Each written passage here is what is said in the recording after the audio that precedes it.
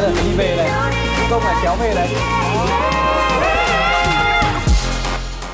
đó mọi người thấy không Ừ. là để mà vì cái khúc đấy là khúc mà cả đội sẽ di chuyển đội hình đúng không cái này Đúng chắc và đoạn này nhất. thì là Giang Hồng Ngọc chuẩn bị là được vũ công nâng lên cao ừ.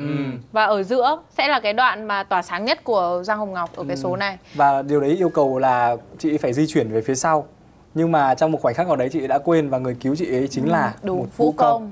Khi Đấy mà là sự hỗ trợ rất là nhiều. Nếu mà không xem những cái kỹ Ừ. những cái ờ, tiết mục này thì chúng ta cũng có thể không thể để ý được bởi cái sự hoàn hảo của việc hậu kỳ này, Ừ. sự hoàn hảo của những thành viên còn lại. Đúng. Vậy mà nói là khi mà làm một cái tiết mục đồng đội đấy thì cái sự hỗ trợ của những cái người đồng đội là vô cùng quan trọng. Ừ, mọi người có, có công nhận với em rằng là những cái nhóm nào ấy mà là những cái nhóm mà vừa hát tốt mà họ vừa nhảy một cách rất là ấn tượng thì sẽ là những nhóm mà mình có thể đánh giá rất là cao đúng đấy Đúng là không? thành đấy là công thức thành công của K-pop cho anh chính xác như vậy Đúng. Ừ, cái điều này thì mình có thể cảm nhận được qua chính những cái chia sẻ của của các chị đẹp trước khi mọi người bước vào cái đêm trình diễn này là cái việc nhảy nó rất là khó và họ đã phải nỗ lực rất là nhiều. Là các chị đẹp sẽ phải chú trọng đến việc nhảy hơn đúng không? Nếu Ừ. muốn tiết mục của mình hay hơn đúng, đúng không? Và cái cái sự khó khăn đấy thì được chia sẻ qua những cái chia sẻ của chị Đại Lệ Quyền.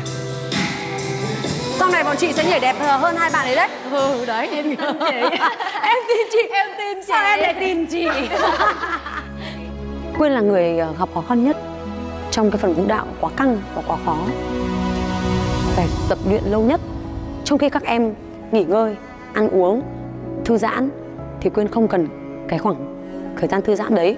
Quyên dành toàn bộ cái thời gian đấy để Quyên tự tập. Lúc thì diệt âm Anh luyện cho, lúc thì em đi luyện cho để Quyên cố gắng Quyên bắt kịp được nhịp của các em. Đấy thì chúng ta lại đến với cái phạm trù là khả năng biểu diễn trên sân khấu là không chỉ là mình nhớ bài cái Ừ. cái cái động tác của mình và với những cái người mà có trình độ cao hơn như Diệp Loanh hay Emily thì cần phải có một cái khả năng quan sát những người đồng đội xung quanh nữa. Tức là mình phải xem xem là à chị Lệ quên có thể cái đoạn này có dễ quên không? Tức là Ừ. trong quá trình tập luyện mình có thể hiểu nhau hơn mà thì có những đoạn nào mà chị Lệ quên chị hay quên chẳng hạn thì Emily hoặc Diệp Lâm Anh sẽ phải tính đến một cái phương án là có thể chám hoặc là thay thế vào cái vị trí đấy. nhảy với các chị đẹp đã là khó xong còn kết hợp với nhau nó sẽ còn khó hơn nữa. Đấy chính là trong nhóm của chị Đoan Trang. Tú Vi đã phản ứng rất là mạnh khi mà có những cái động tác khó. Nhảy sai không sao hết trơn á nhưng mà tự tin lên. Khúc của tôi là tôi phải đứng giữa tôi phải tỏa sáng. Chứ mọi người vẫn vẫn thấy sợ sai sợ sai không à ok? Không làm được cái này mà vừa hát vừa là không làm được.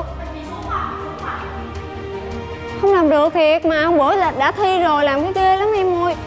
Biết không? Khó lắm Ủa hình như câu này ba chị hát thôi mà. Chị Trang với chị ờ, Ngọc hát chính. Rồi mình có Tụi em có hát gì đâu. Mình cũng phải nói cho mấy chị chứ nhưng mà rõ ràng là đoạn này thì tú vi cũng không hát mà tú vi cũng chia sẻ là đây là em nếu mà không phải là em thì em cũng nghĩ là sẽ khó với những cái chị đằng sau những cái chị hát chính đằng sau. Trong team này là có chị ngọc chị yến trang và chị đoan trang. Nếu như hương nói thì là tú vi là muốn bảo vệ các chị còn lại chứ đúng không? Ừ. muốn tốt cho các những người còn lại. Đúng. sợ là vừa hát vừa nhảy như thế không không có thể đảm nhận được. Thậm chí là hứa Henie trong quá trình tập luyện cũng đã rơi nước mắt sợ là mình sẽ không làm được. Hay là Hà Kino cũng rất là lo sợ là em với Hen như là hai khắc tinh của những vũ điệu mà bây giờ nhìn thấy sự nỗ lực của các chị trong cùng một team thì bọn em cũng phải tự cố gắng để có thể lột sát và bước ra khỏi cái vùng an toàn của mình. Từ luyện tập cho đến thực tế nó cũng là một cái một cái khác. Một cái khác rất là nhiều nhưng mình cũng phải công nhận là họ đã nỗ lực rất là nhiều để có những cái phần trình diễn ấn tượng như vậy. Bây giờ thì em muốn là chúng ta sẽ có thể trò chuyện thêm về những nhân vật nhưng mà có những cách nổi bật rất là đơn giản. Ví dụ như là Nguyên Hà đúng không? Nguyên Hà trong những tập đầu tiên xuất hiện thì là một thực sự là một nghệ sĩ hướng nội. Ừ. Không có hướng nhiều nội bè time luôn. và cũng không nói chuyện nhiều. Nói thật là cuộc sống của Hà cũng khá là nhẹ nhàng và đơn giản Và cũng rất là ngại chia sẻ về bản thân. Sẽ có những lúc mình Hà cũng muốn thay đổi nó một chút Để mình thêm một chút gia vị cho cuộc sống của mình Hà cũng nghĩ là Hà sẽ sẵn sàng để đối mặt với những cái điều mà trước nay mình còn e ngại.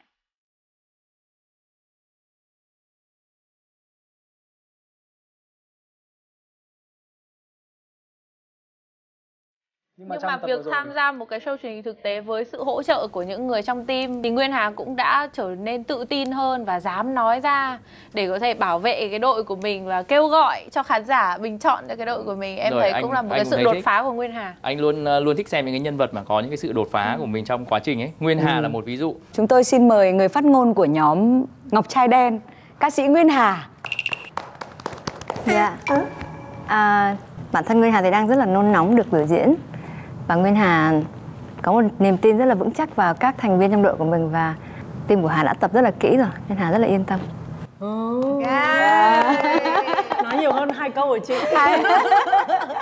Và chị nói xong cái là mọi người câm nín luôn. Không biết ờ, đến Diệu Nhi là một cái người thú vị như thế cũng phải câm nín lại để để nhường chỗ nhường kiểu như mọi người đang cho đang rất là Hà. hồi hộp để chờ xem chị Hà sẽ nói cái gì ấy đúng không em thấy có những người mà cũng có những cái màn lột xác khá là ấn tượng đây ví dụ như là Hakino hay là Hen chẳng hạn Ừ. đây có thể là một cột mốc để mà giúp cho họ có thể một cái bước có những cái bước tiến mới trong sự nghiệp của mình Vâng và tìm cho mình một cái hình ảnh mới Đúng. khám phá thêm những cái khả năng ở trong bản thân mình